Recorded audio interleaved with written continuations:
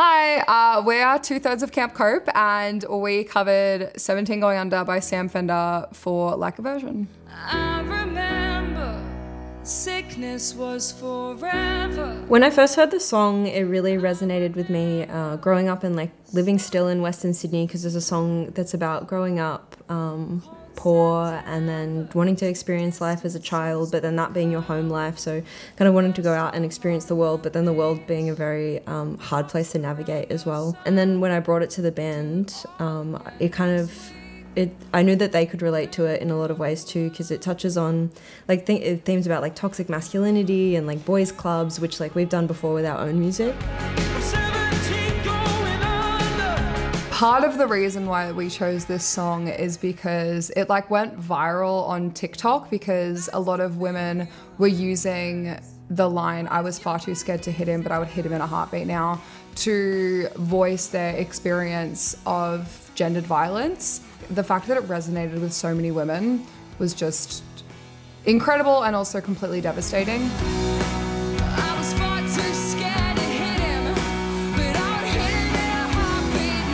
We changed the lyrics to instead of being about like a guy who grew up in the UK to be more about like a woman growing up in Australia. It's kind of scary to change lyrics because you don't know how the artist who wrote the song, if they hear it, like what they're gonna think about it. And we did change the whole like not the we whole, changed the, the, song. The meaning of the song is now different. I yeah. Feel. Um. So I hope that's okay with the people. Sorry, Sam.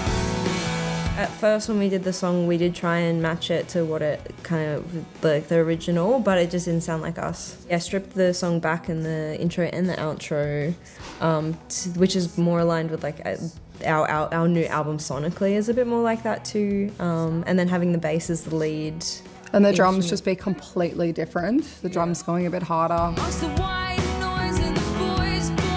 The first time we did like a version, we covered Maps by the Yeah Yeah Yeahs because that is one of the greatest songs ever written. Sometimes that lack of version comes on like on someone's Spotify or the radio, and I don't realize it's us. I'm like, why do I know this? What is this?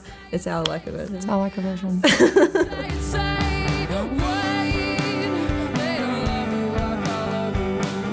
we were so young. We had only been a band for less than a year. Yeah.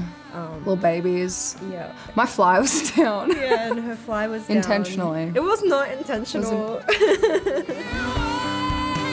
I like listen back to old Camp Cope records and I'm like, ugh. Hate this, like knives, someone jamming a knife in my ear. We Whereas now I like it, it. Yeah. We were so like, we are a rock band and we are guitar, bass, and drums, and that's what we are. And then I feel like then we got really bored of it, and then we're like, no, we want piano, we want a more dynamic sound, and we have the ability to do that too. I feel feel like we really used to doubt our ability. Yeah. Um, and now we've gotten more confident. I think right now it's really cool to have something like this because we can't play live shows. So it's nice to be able to like make art and have an audience. I think we're all starved of live music at the moment. Yeah. And this is not like uh, being in front of an audience, but it's kind of the closest that closest you can be. Yes, it's so much fun. I fun. love the grand piano. oh, love it. Obsessed. I love like good classic female rage. I think that there's something really quite beautiful and important and I feel like when a woman expresses anything that's not, you know, polite in public or like in art, then she kind of gets torn down.